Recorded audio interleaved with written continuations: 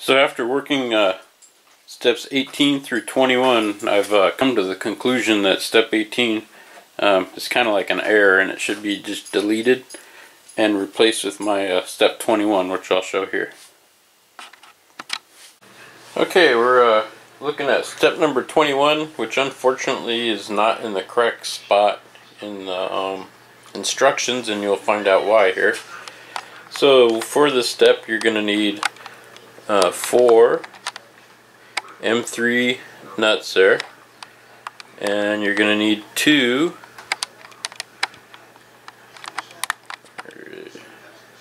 M318 screws. And here's an assembled one. I'll kind of zoom in for you. And uh, you're just gonna put one nut on the inside and one nut on the outside and it's going to be pretty much flush right there. Mine's sticking out just a little bit. And you'll see you get the four screws that hook onto the bottom rail. Bottom rail being that bottom rail right there. See it's got four screws and those correspond with the four center screws right there. So you're just going to go off to the sides and attach those uh, the screws and nuts there. And I'll show you how I do it on the other side there.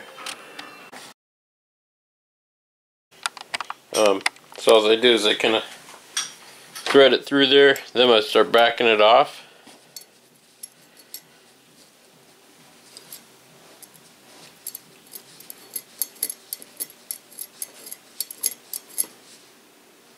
And then I tighten this down. Get a little crescent wrench and just kind of tighten it up. So that's about all there is to that. You're just going to need 12 M48 screws.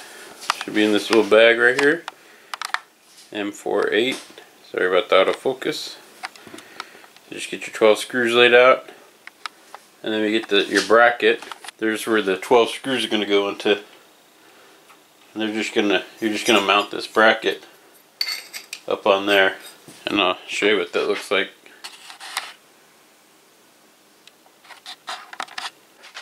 You can access these bottom ones by putting your screwdriver through these little slots there and just tightening them down.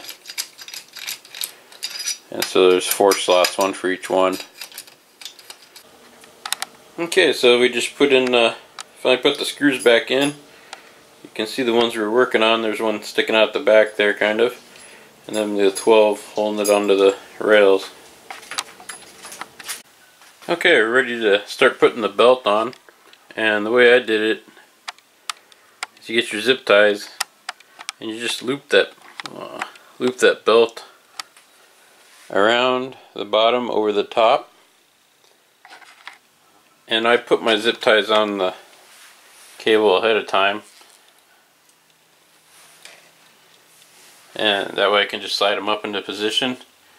And again the belt went down through here over the top facing down. And I just looped them from the bottom over the top. This one I got close as I could and this one I'll just bring out to here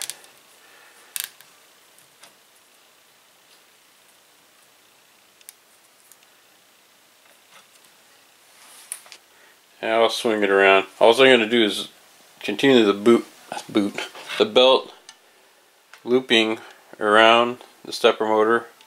Come back, loop around here, and meet it on that side there. Okay, I just spun it around so you can see me loop it around the stepper motor.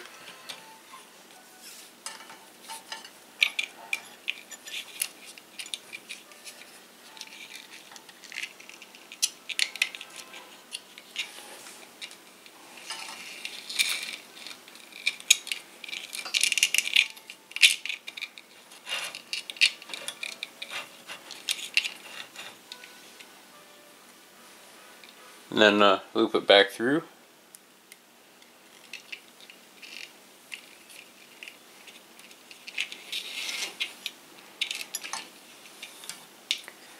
And then I'm just going to go around to the other side and kind of do the same thing. There's a little wheel in there. I'll zoom in and show you. See a little wheel right there? I'm just going to loop around that.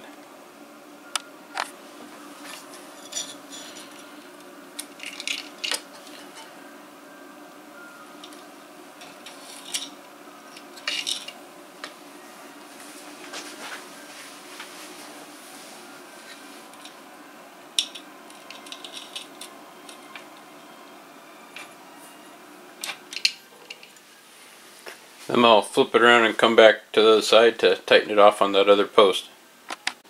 Okay, I'm getting ready to put that belt on. All I did is loop my uh, ties ahead of time.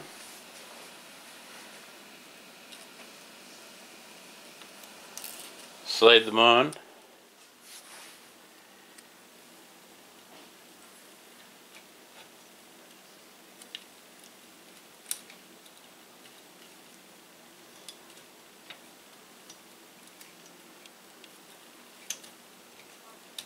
Let me just pull this tight.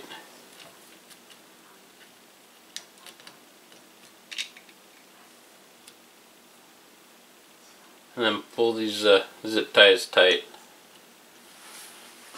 And I don't know how long it's going to take me to get that. You want that nice and tight there, so I'm going to, that's what I'm going to do.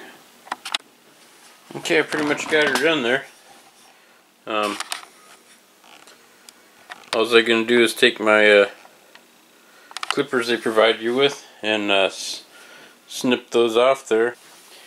I'll go ahead and clip these off.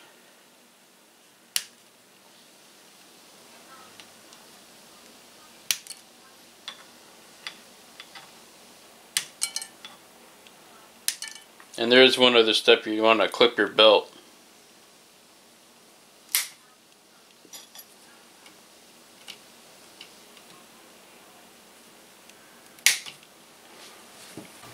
Here's what it looks like from the front.